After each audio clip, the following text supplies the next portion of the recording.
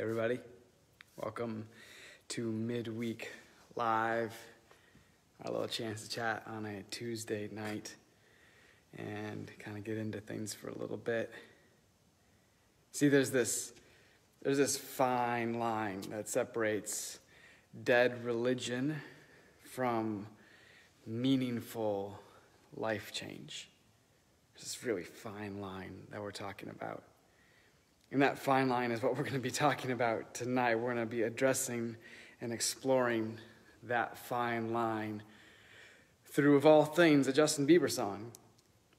I don't know if you've heard it, but it just came out not too long ago. And the song is called Holy.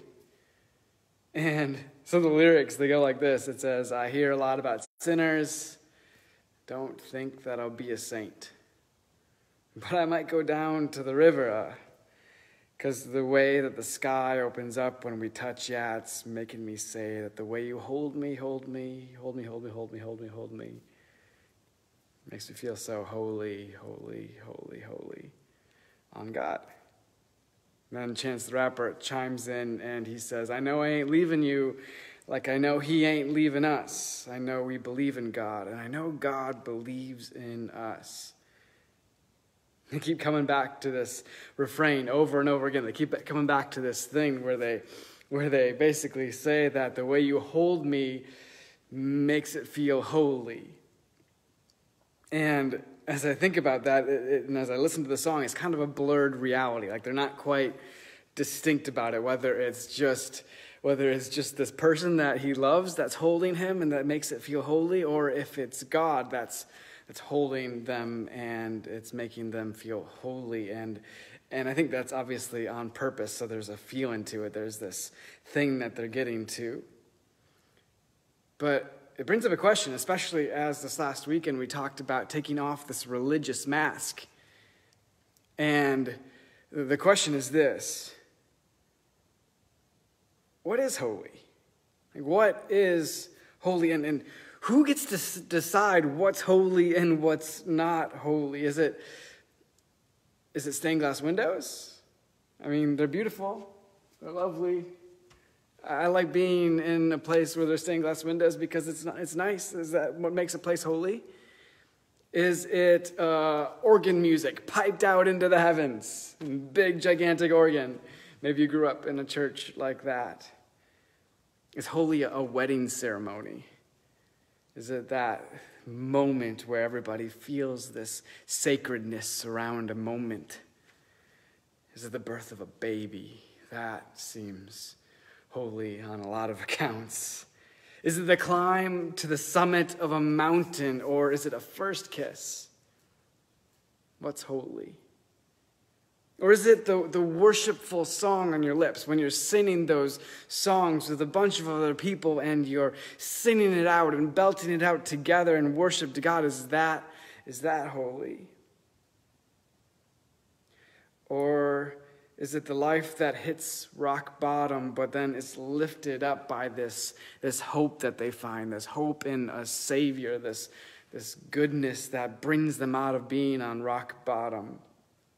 Is it the fringes of society where one human meets another and then they have these gestures of, of love in the form of food or of, of clothing or of, of a kind word or, or of a hug or this, this goodness? What, what is it that makes something holy? How do we have these moments that we know that something is, is holy?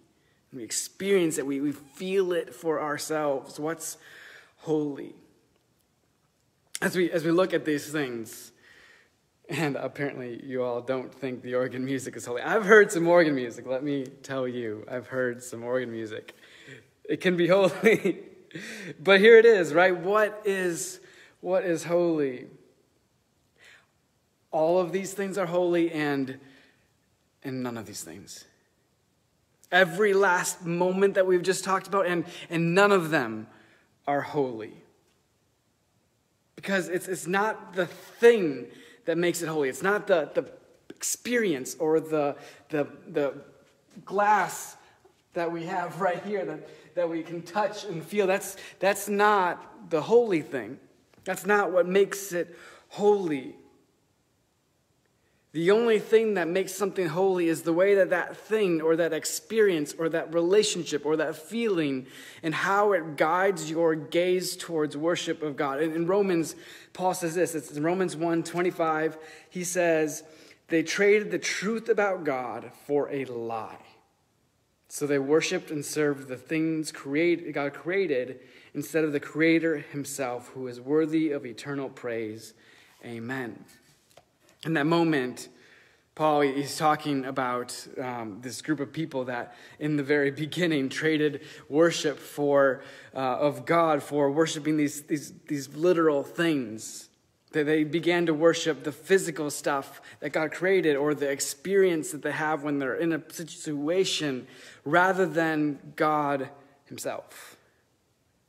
They traded the truth for a lie. They worshiped and served created things rather than worshiping the Creator. What makes something holy? Something is holy when it steers our gaze in worship towards God. That's what makes something holy. When, when our, our gaze is, is pushed upward towards God, that's what makes it holy. There's nothing wrong with, with stained glass windows. They can be holy as anything. And serving in a soup kitchen or a, a food pantry can actually be, that can actually be an unholy thing. If you go into there with a cynical attitude, not expecting to see God work in any way whatsoever, that can be the most unholy situation ever. It's all in how we view things. It's all in our perspective. Mike last weekend talked about having this religious mask that we mindlessly go through the motions with, right? The, these things that we put on or we hold on to or these actions that we do to make us look good rather than to actually experience God or live for God and, and live a faith filled life. Um, it's when we do the actions without thinking. It's when we, it's when we point to things or experiences or, or emotions and call them holy, holy and, and think that they make us holy when in fact we're just going through the motions. But we don't allow them to point us to God and let them be part of the way that God transforms us. That, that's what happens when we wear the religious mask. We, we do these things and we don't actually allow them to change us and to shape us. We just, we just do them because it looks good, it, it makes us look religious. And we think that's a good thing for some reason. In, in Matthew, Jesus, he's He's describing God's kingdom. He's describing how things all fit together. He's describing how it's going to be one day when everything kind of gets finished up. And, and it's Matthew 25, and these are the verses that it says. It says, Then the king will say, This is Jesus speaking, to those on his right, Come, you who are blessed by my Father, inherit the kingdom prepared for you from the creation of the world. For I was hungry, and you fed me. I was thirsty, and you gave me a drink. I was a stranger, and you invited me into your home. I was naked, and you gave me clothing. I was sick, and you cared for me. I was in prison and you visited me. Then these righteous ones will reply, Lord, when did we ever see you hungry and feed you, or thirsty and give you something to drink, or a stranger and show you hospitality, or naked and give you clothing? When did we ever see you sick or in prison and visit you? And the king will say, I tell you the truth. When you did it to one of the least of these, my brothers and sisters, you were doing it to me. Faith in Jesus and, and holiness and experiencing God, when you have that moment of being on uh, like sacred or holy ground, it's when you're being who God wants you to be. It's when you're in those moments and you're looking to God and they're guiding to you towards God and, and being in awe or wonder of God because of, of you placing yourself in that moment it looks like being inspired by God to live for Him. It's experiencing and wondering at God's grace and goodness wherever it's found. If you're in an ancient church with stained glass windows that stretch to the sky and you are in awe of how beautiful it is, and you think someone spent the time to craft this in such a way that they want to magnify who God is, and you are just in awe of it and in awe of God and, and who would be who would have inspired something like this, that is a holy moment. And at the same time, like Jesus said in those verses, you can be on the fringes of what's considered safe.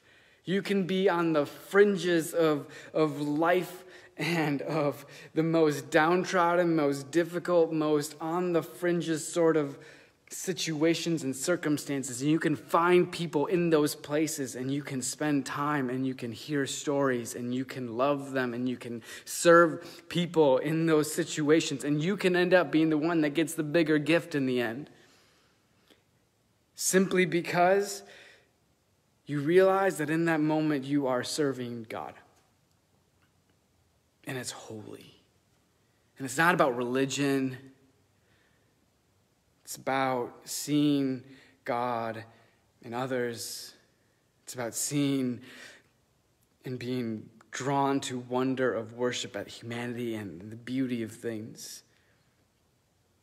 And so it might as we think about this, as we think about who God is, as we think about taking this religious mask off, as we think about what's holy and what's not, and who gets to decide, what we can know is this is that God has created this incredible world. And He has filled it with people who He created in His image. And as we see this created beauty in this created world, and we see, we see the, the things that people created in God's image take the time to create, to honor, and magnify God, we can begin to see that we can be inspired to. We can be in awe of who God is. We can be in awe of what He's created. We can experience holy moments when we slow down long enough to have our eyes lifted up towards heaven because we're inspired by what we see and experience in a thing or in a person or in a circumstance. When we sit in a, a church someday, hopefully soon, we can't wait. But when we do that, and we all sing together, and you hear the chorus, and you get this feeling. That moment will be holy if it's not the feeling you worship, but it's the God who grants it and gives it to you as a gift to remember and know how good He is. Holiness might even be found in a Justin Bieber song called Holy.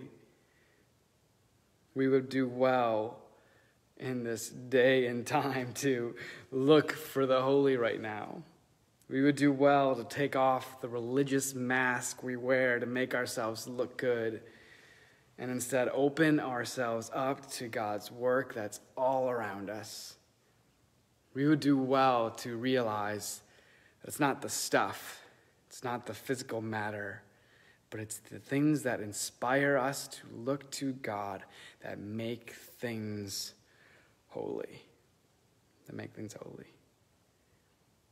And when we take the religious mask off and think it's not about just the things that we do or the actions that we repeat on a habit, but it's actually these things that draw us closer to God, I think we will find ourselves experiencing many more holy moments in many more places than we ever thought possible. So, with that, Thank you all for tuning in. Thank you all for spending some time with me as we talk about what's holy, as we talk about taking the religious mask off, knowing that it's more than religion, but it's actually a faith and a belief in God that draws us up to this better place. May you be inspired tonight. May you be inspired to experience holiness, not because you go through the motions, but because you actually experience this faith in real ways and you live it in real ways too. So, with that, may you all have a fantastic night, and I will see you next Tuesday. Good night.